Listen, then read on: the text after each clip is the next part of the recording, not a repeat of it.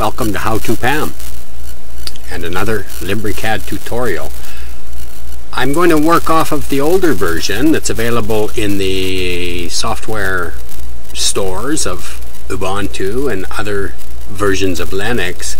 It's version 2.09 and we're going to show you how the dock layout uh, appears in that older version and what we can do and how we can move the docks around.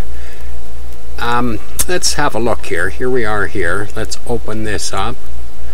And as you see, we have the older version that was available through the dock, uh, through the software store. It is version 209 okay so that's not that old that's only a year ago that's from 216 but you'll notice that its layout is a little different. The snaps are all up here and the command line is down here and it's quite long and you'll notice we don't have a button here for for moving the widgets. There's no widget button. However, if we right mouse click on here, we still have the widgets there. Okay? And we have the library browser and the the block list and the command line okay and if we shut the command line off there it's gone. But that doesn't do us much good because we like to use the command line. But the newer version has the snaps all laying down here. And uh, of course here is your relative and your absolute uh, polar and Cartesian coordinates are still here.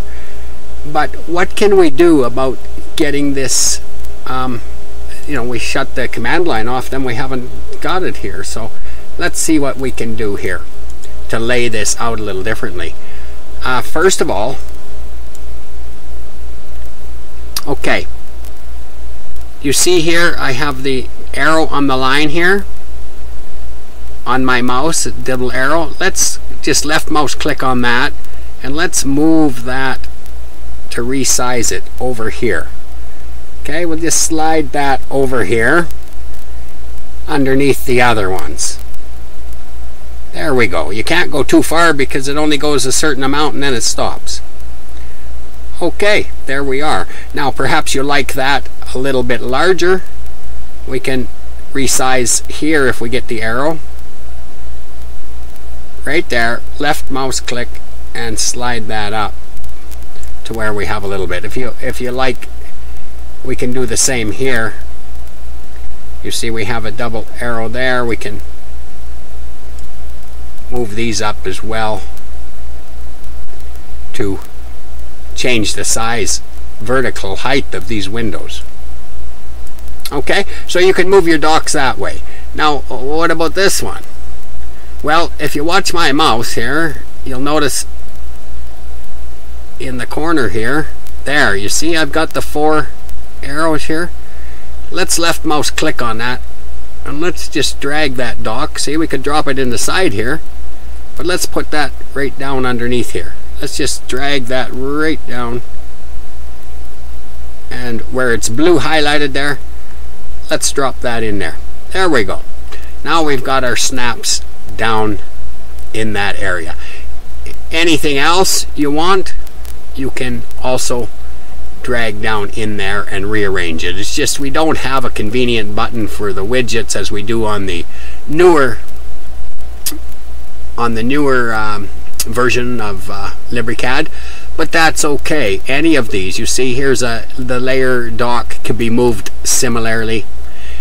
And now you'll also notice that some of the buttons are missing here, but on the older version. But let's say if we want to use some of these, we can go ahead and there it is there, okay?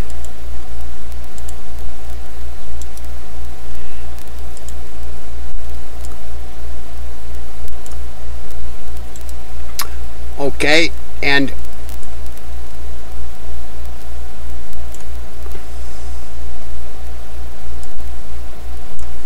there we go move that command line back into where you want it okay and then we have our widgets set up so you can drag these widgets around to where they're going to be of advantage to you and that will help get the layout of LibreCAD, the interface more comfortable the way you prefer it.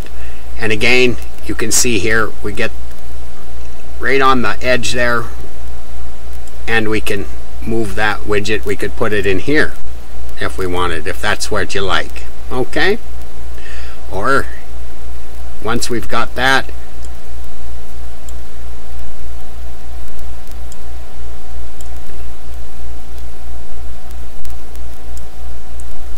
okay,